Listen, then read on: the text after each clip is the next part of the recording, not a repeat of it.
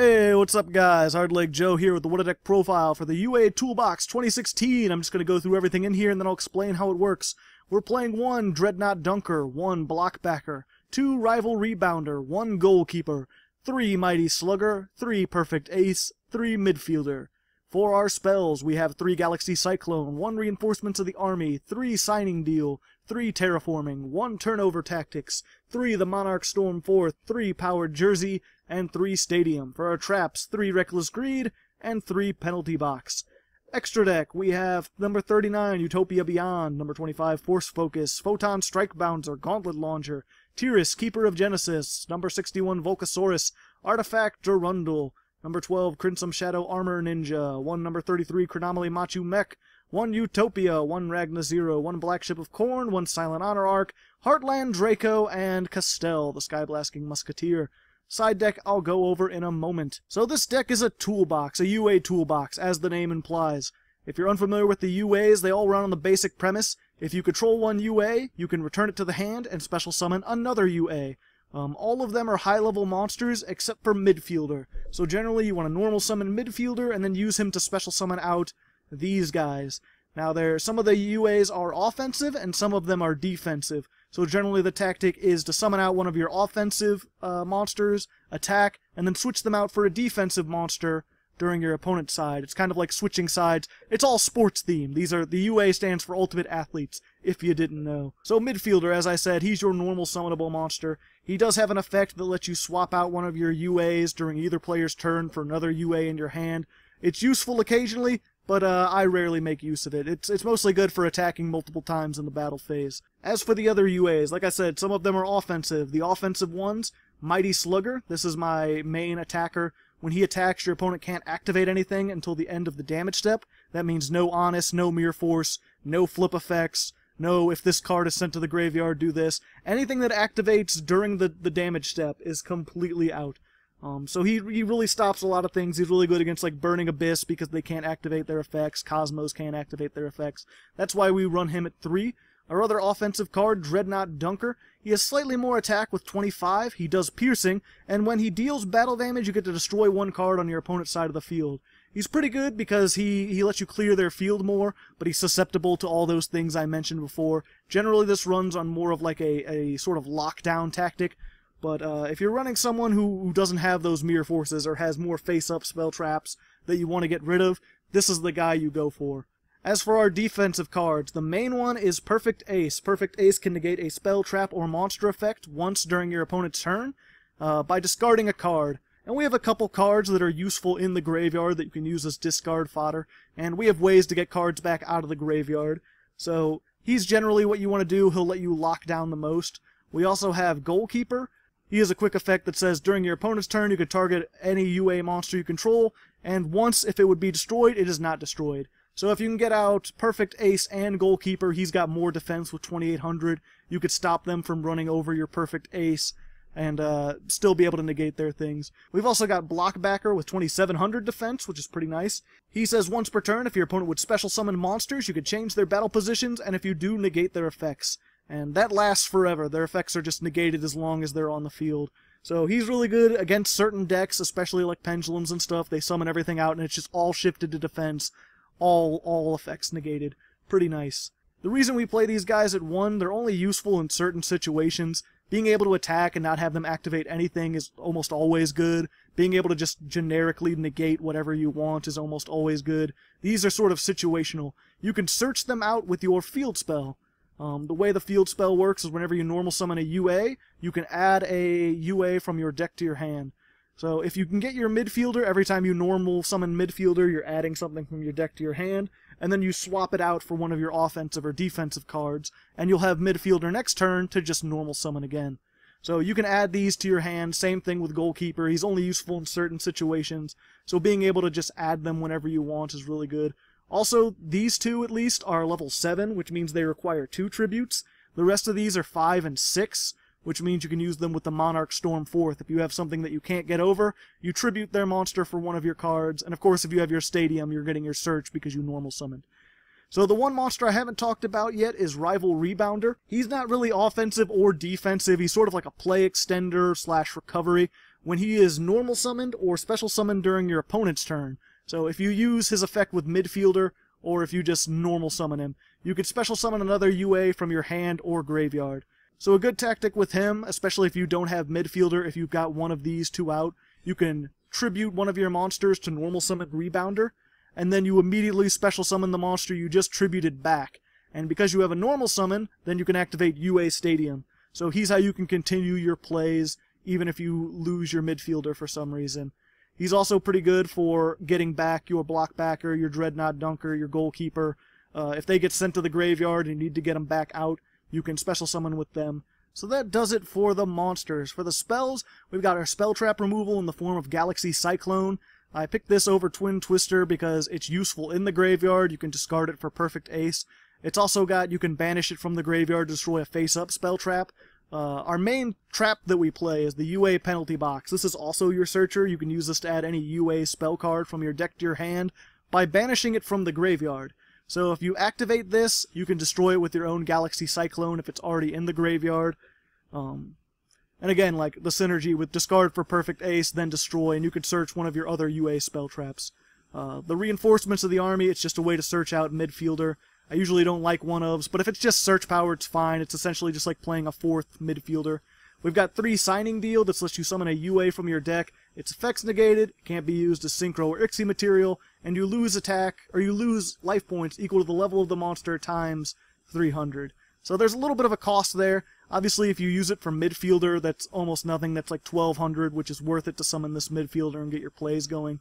Alternatively, you can use it, like I said, to get your rival rebounder going without having to have midfielder. Because you only have the one search for turn with UA Stadium, this is also good as sort of like a supplementary search. Um, say you normal summon your midfielder and you special, like you get Mighty Slugger, attack with that, and it's like, oh, well, you need a defensive card.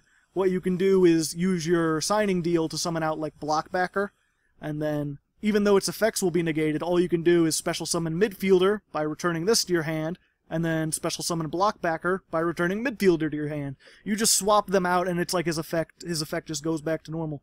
So you're good. We're also playing three terraforming, that's just to get the stadium, which I already explained why the stadium's good.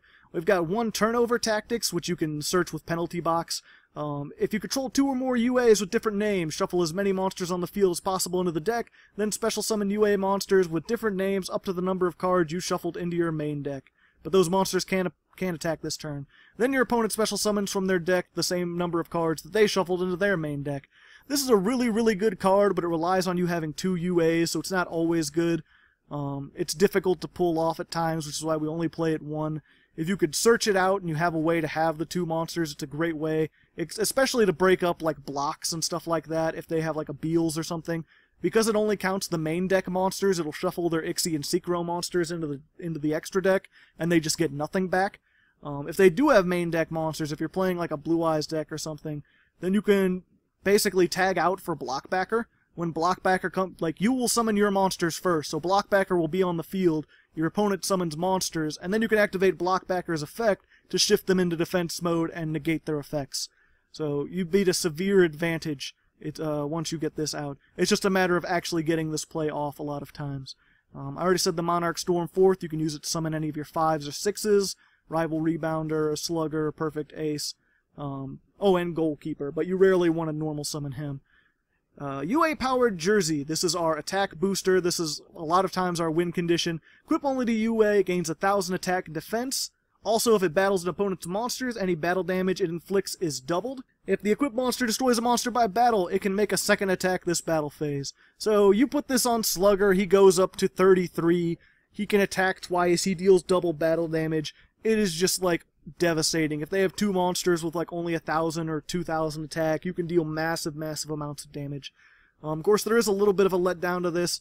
If uh, this is still equipped during your standby phase, you banish the monster. Fortunately, if you return the monster it's equipped to to your hand, you can also return this from your graveyard to your hand. So, you want to use this, but you also want to make sure that you have one of your defensive cards. So you can put this on Slugger Attack, and if you don't OTK them, then you can swap out for Perfect Ace, and you'll get this back for next turn you can attack again. Finally, we're playing Reckless Greed. This is just draw power. Um, this deck needs a little bit. It can brick at times with such so many high monsters. You've got a lot of ways to swap them out with midfielder and signing deal and the Monarch Stormforth, but you still brick occasionally. This hopefully alleviates some of that. Uh, I picked Reckless Greed because with this deck, once you get UA Stadium, every time you normal summon, you're just adding another monster. So if you can draw and then get into this and midfielder, you don't need your draw for the next two turns because you're going to be generating advantage anyway. Oh, and I guess I forgot to mention, Penalty Box also has an additional effect. It's actually a really great trap all around. At the start of the damage step, if your UA monster battles an opponent's monster, banish that monster until the second end phase after this. Um, which is really good generic removal. Of course, it'll come back in two turns, but with how much damage you do, two turns is usually it for them. Um, and like I said, if they destroy that, then you can search it. Most of the time, you're just destroying it yourself so you can search, or discarding it so you can search. But uh, setting it, having a card that you could set and just forget, like if it gets destroyed, great. If not, even better, because then you can banish their stuff. It all works out. The extra deck is just a big combinations. We've got some fours in case we get two midfielders. We've got a lot of fives because both Perfect Ace and Mighty Slugger are fives. We go into them more often.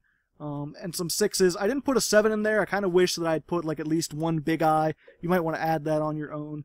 Um, but really, you, you barely go into the extra deck. But it is nice to have one, just in case you run into those situations. They have a Beals and all you have is two midfielders. Like, well, you can get rid of it. It's nice to have that option. The side deck is where this, this deck really comes alive.